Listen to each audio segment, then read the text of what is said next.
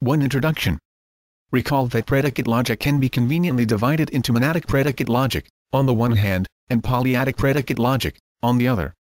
Whereas the former deals exclusively with one-place monadic predicates, the latter deals with all predicates one-place, two-place, etc. In the present chapter, we turn to quantification in the context of polyadic predicate logic.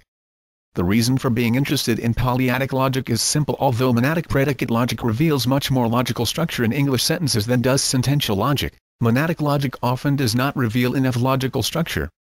Consider the following argument.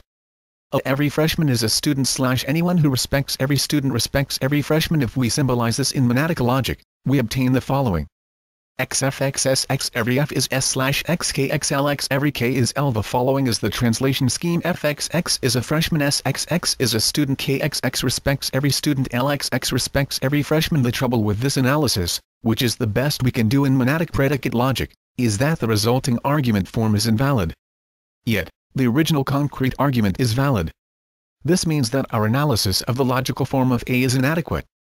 In order to provide an adequate analysis, we need to provide a deeper analysis of the formulas. KXX respects every student LXX respects every freshman. These formulas are logically analyzed into the following items. Students IY as a student freshman Phi Y as a freshman respects RX YX respects Y every Y for any person Y thus. The formulas are symbolized as follows KXX respects every student Y psi RX Y for any person Y if Y is a student, then X respects Y LXX respects every freshman. Y phi Rx Y for any person Y if Y is a freshman, then x respects y thus, the argument form, according to our new analysis is xfxsx slash xy psi rxy y phi rxy this argument form is valid, as we will be able to demonstrate in a later chapter. It is a fairly complex example, so it may not be entirely clear at the moment. Don't worry just yet. The important point right now is to realize that many sentences and arguments have further logical structure whose proper elucidation requires polyadic predicate logic.